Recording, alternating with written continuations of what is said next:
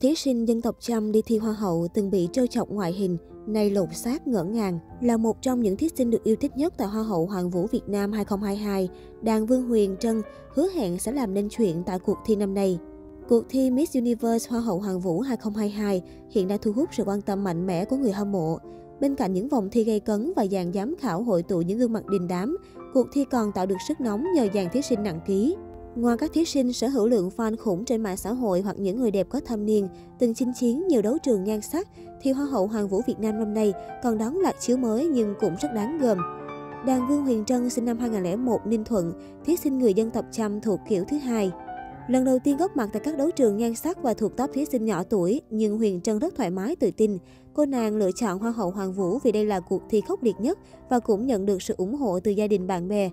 Tuy nhiên, trước khi trở thành người đẹp sở hữu chiều cao ấn tượng 1m76, Huyền Trân từng gặp phải không ít khó khăn với chiều cao quá khổ của mình. Cô kể lại, hồi học cấp 2, chiều cao vượt trội từng khiến mình cảm thấy tuổi thân và lạc lõng. Điều này cũng từng trở thành đề tài để các bạn trêu chọc, nhưng bây giờ mình cảm thấy rất tự hào về chiều cao của mình.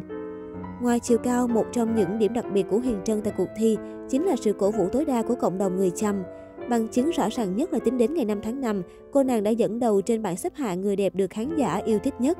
Huyền Trân tâm sự khi đến với cuộc thi này mình mang theo hành trang quan trọng nhất là tất cả tình yêu thương của cộng đồng người Chăm ở Ninh Thuận nói riêng và cả nước nói chung.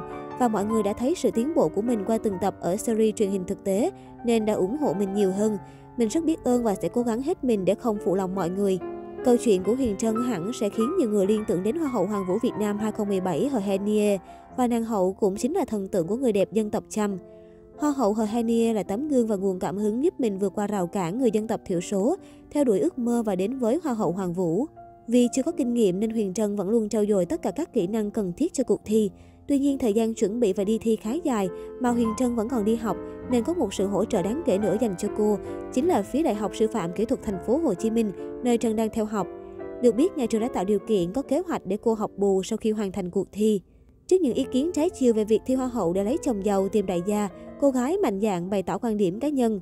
Mình nghĩ rằng mỗi con người nên trở thành đại gia của chính mình. Đồng ý là việc trở thành hoa hậu sẽ mang lại rất nhiều cơ hội, được nhiều người biết đến và có sức ảnh hưởng. Nhưng mình muốn dành ảnh hưởng đó để giúp đỡ những hoàn cảnh khó khăn ở quê hương mình. Bên cạnh đấu trường nhan sắc Hoa hậu Hoàng vũ Việt Nam 2022 thì Miss World Việt Nam 2022 cũng là cuộc thi sắc đẹp đang nhận được nhiều sự quan tâm của dân mạng. Cuộc thi ngày càng gây cấn và nhộn nhịp khi xuất hiện nhiều gương mặt ấn tượng tiềm năng, hứa hẹn sẽ làm nên chuyện.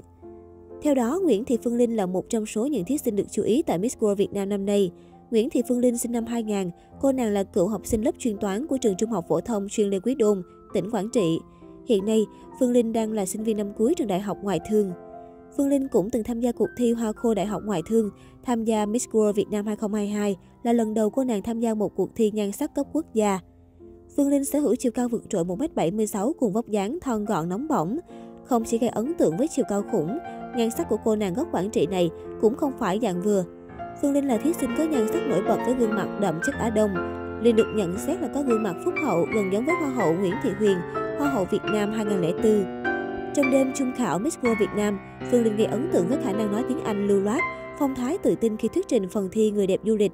Cô nàng đã xuất sắc hoàn thành phần thi, vượt qua nhiều thí sinh nặng ký khác để giành giải thưởng phụ người đẹp du lịch. Chính nhờ giải thưởng vụ này mà Phương Linh trở thành một trong ba thí sinh vào thẳng top 20 chung kết Miss World Việt Nam 2022.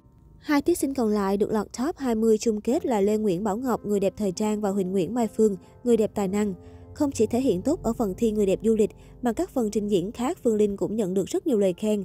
Bởi vậy mà cô nàng là thí sinh tiềm năng được kỳ vọng sẽ giành vương miện tại cuộc thi năm nay.